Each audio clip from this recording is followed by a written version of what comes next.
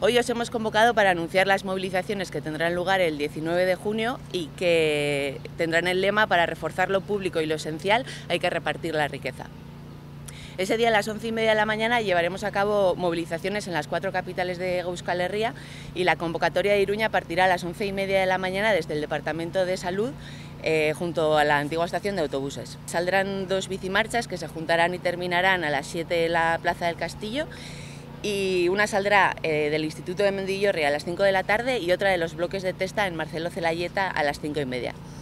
En otras muchas localidades también habrá movilizaciones que más adelante se, irán concretando. Hemos elaborado un plan social que recoge las reivindicaciones que se han ido eh, creando y elaborando y recibiendo con, diferentes sindicatos y agentes sociales en la Carta de Derechos Sociales de Navarra y también hemos empezado a salir a la calle como la semana pasada con la exitosa bicimarcha que se realizaron entre otras cosas. La semana pasada a nivel de Euskal Herria presentamos eh, junto a muchos firmantes el manifiesto titulado me, me he quedado en casa, ahora saldremos a la calle, Lenik visita. cha cha cha